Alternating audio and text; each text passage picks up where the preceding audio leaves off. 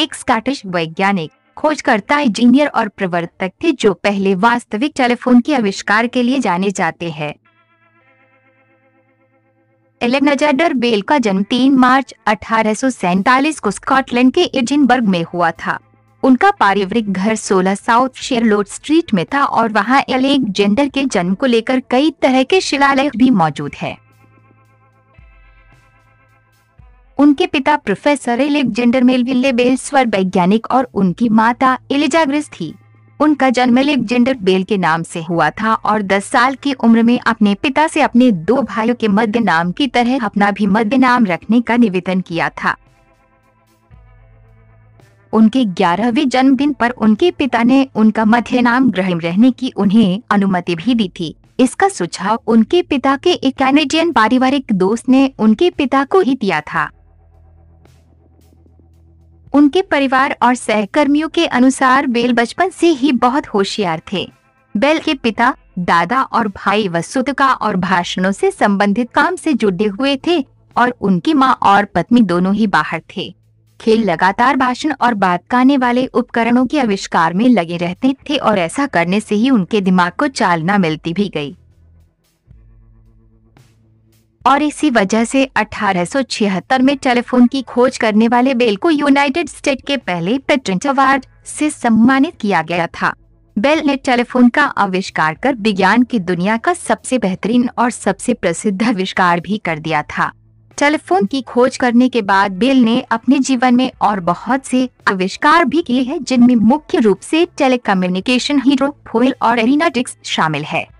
National geographic society में अठारह से उन्नीस तक उन्होंने वहाँ रहते हुए सेवा की थी और सोसाइटी के दूसरे प्रेसिडेंट के पद पर कार्यरत रहे। युवा बालक के रूप में बेल अपने भाइयों की ही तरह थे। उन्होंने अपनी प्रारंभिक शिक्षा घर पर ही अपने पिता से ही ग्रहण की थी। अल्पायु में ही उन्हें स्कॉटलैंड के एजिनबर्ग की रॉयल हाई स्कूल में डाला गया था और 15 साल की उम्र में उन्होंने वह स्कूल छोड़ दी थी। उस समय उन्होंने पढ़ाई के केवल चार प्रकार ही पूरे किए थे। उन्हें विज्ञान में बहुत रुचि थी, विशेषत जीव विज्ञान में, जबकि दूसरे विषयों में वे ज़्यादा ध्यान नहीं देते थे। स्कूल छोड़ने के बाद बेल अपने दादाजी एलेक्जेंडर बेल के साथ रहने के लिए लंदन चले गए थे। जब बेल अपने दादा के साथ रह रहे थे तभी उनके अंदर पढ़ने के प्रति अपना प्यार जागृत हुए और तभी से वे एक घंटों तक पढ़ाई करते थे। युवा बेल ने बाद में अपनी पढ़ाई में काफ़ी ध्यान दिया था। उन्होंने अपने युवा छात्र दृढ़ विश्वास के साथ बोलने के लिए काफ़ी कोशिशें भी की थी और उन्होंने जाना कि उनके सभी सहमित्र उन्हें एक शिक्षक की तरह देखना चाहते हैं और उनसे सीखना चाहते हैं। 16 साल की उम्र में ही Bell Western House Academy Moray Scotland के वसरिल चकला और संगीत के शिक्षक भी बने। इसके साथ साथ वे लैटिन और ग्रीक के विद्यार्थी भी थे। इसके बाद बिल ने एडिनबर्ग यूनिवर्सिटी भी जाना शुरू किया और वही अपने भाई मेलविल्ले के साथ रहने लगे थे। अठारह सौ अड़सठ में अपने परिवार के साथ कनाडा शिफ्ट होने से पहले बेल ने अपनी मैट्रिक की पढ़ाई पूरी कर ली थी और फिर उन्होंने लंदन यूनिवर्सिटी में एडमिशन भी ले लिया था। एक बच्चे के रूप में बेल ने इस दुनिया की प्राकृतिक जिज्ञासा को प्रदर्शित किया था और अल्पायु में ही वनस्पतिक नमूनों को इकट्ठा का उन पर प्रयोग करते रहते थे। उनका सबसे अच्छा दोस्त बेन हेडमैन था, जो उनका पड़ोसी भी था और उनके परिवार की एक फ्लोर मेल भी थी। बेल हमेशा अपने दोस्त से पूछा करते थे कि मेल में किन किन चीज़ों की ज़रूरत पड़ती है। तब उनका दोस्त कहता था कि कामगारों की सहायता से गेहूँ का भूसा बनाया जाता है और उसे पिसा जाता है। बारह साल की उम्र में बेल ने घर पर ही घूमने वाले दो क्लोर पहियों को जोड़कर एक ऐसी मशीन बनाई जिससे गेहूँ को आसानी से पिसा जा सकता था। उनकी इस मशीन का उपयोग कई सालों तक होता रहा। बदले में बेन के पिता जान हर्डमैन ने दोनों बच्चों की खोज करने के लिए एक वर्कशॉप भी उपलब्ध करवाई थी। मई 1874 में टेलीफोन का आविष्कार किया। बाद में उन्होंने फोनोटोग्राम पर प्रयोग करना शुरू कर किया। एक ऐसी मशीन जो स्वर की लहरों को रूपरेखा दी सके।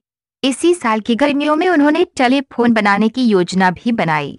इसके बाद उन्होंने अपने असिस्टेंट थॉमस वॉटसन को भी काम पर रख लिया था। 2 जून अठारह को बेल ने टेलीफोन पर चल रहे अपने काम को सिद्ध किया। इसके बाद वॉटसन ने बेल के फ़ोन ऑटोग्राफ में लगी धातु की एक नलिका को खींचा।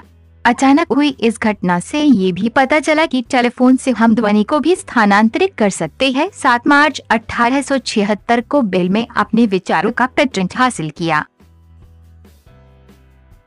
बेल को United State patent office patent number एक लाख चौहत्तर हज़ार चार सौ पैंसठ मिला।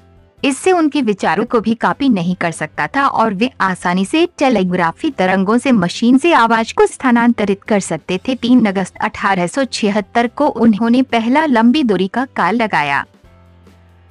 इसके बाद बेल को दूर के किसी ब्रंतफोर्ट गाँव से एक ध्वनि संदेश भी मिला। ये संदेश तकरीबन चार मील दूर से आया था। इस घटना के बाद बेल ने अपनी योजनाओं को लोगों के सामने बोलना शुरू किया और अपनी खोजों को सार्वजनिक रूप से ज़ाहिर भी किया। 11 जुलाई 1877 को बेल ने पहली टेलीफोन कंपनी की स्थापना की। बेल के टेलीफोन कंपनी की स्थापना हुई। इसी साल बेल ने कैम्ब्रिज के मबेल हब्बार्ड से शादी की। लेकिन अभी भी उनकी कमाई का ज़रिया पर ढाना ही था क्योंकि उस समय टेलीफोन उनके लिए ज़्यादा लाभदायी नहीं था। अठारह को बेल ने दूसरे कई आविष्कार भी किए। बेल ने phonograph, metal detector, metal jacket की भी खोज की और साथ ही ऑडियोमीटर की भी खोज की ताकि लोगों को सुनने में परेशानी न हो। इसके बाद उनके नाम पर 18 पेटेंट दर्ज किए गए। उनके आविष्कारों को देखते हुए उन्हें बहुत से सम्मानों और पुरस्कारों से नवाजा भी गया था और आज भी उन्हें कई पुरस्कार दिए जाते हैं। अठारह सौ सत्तानवे में बेल प्रसिद्ध हुए और बहुत सी संस्थाओं में भी उन्हें शामिल किया गया। 25 जनवरी 1915 को बेल ने पहला ट्रांस अटलांटिक फ़ोन कॉल लगाया। पहली बार बेल ने उपमहाद्वीप के बाहर से भी वॉटसन को कॉल लगाया। इस काल के अड़तीस साल पहले, बेल और वॉटसन ने फ़ोन पर बात की थी। लेकिन ये काल उस फ़ोन से काफ़ी बेहतर था और आवाज़ भी साफ़ थी। 2 अगस्त उन्नीस को 75 साल की उम्र में अपनी व्यक्तिगत जगह बेन अग नोवा स्काटिया में डायबिटीज़ की वजह से उनकी मृत्यु हुई थी। बेल एनीमिया से भी ग्रसित थे। आखिरी बार उन्होंने रात को दो बजे अपनी माउंटेन स्टेट के दर्शन किए थे। लंबी बीमारी के बाद उनकी पत्नी मबेल ने उनके कनों में गुनगुनाते हुए कहा था मुझे छोड़कर मत जाओ। जवाब में बेल ने नहीं कहा और कुछ ही समय बाद उनकी मृत्यु भी हो गई थी। बेल की अंतिम यात्रा को सम्मान देते हुए उत्तरी अमेरिका उप महाद्वीप के सभी फ़ोन को उनके सम्मान में साइलेटे पर रखा गया था। वे एक ऐसे आविष्कारक थे जिन्होंने अपने आविष्कार से लाखों मील दूर रह रहे इंसान को भी जोड़ा था।